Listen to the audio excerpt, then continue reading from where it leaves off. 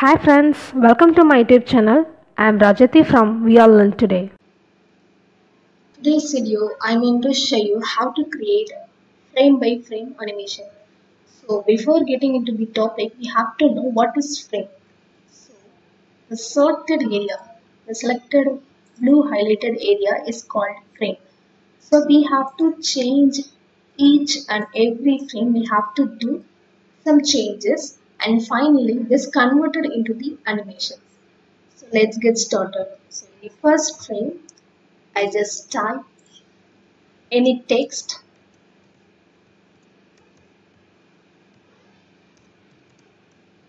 I just type uh, YouTube name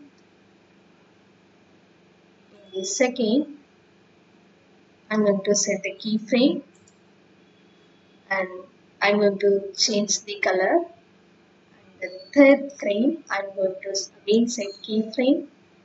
And change the color font color. Again insert the keyframe. And set another color. Insert keyframe. Change the font color. I just keep on doing each frame I just change the color. So this is the sample. Let's run it. Control test movie.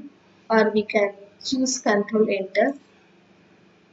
So this is the frame by frame animation.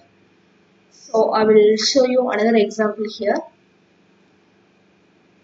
So this is the object in the first frame I just draw only the oval and this circle I just made it by using the oval tool just like this.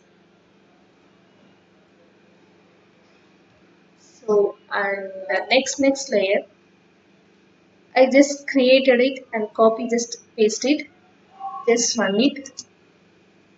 So this is the output so this is the frame by frame animation. Uh, I just show you the example both object and the text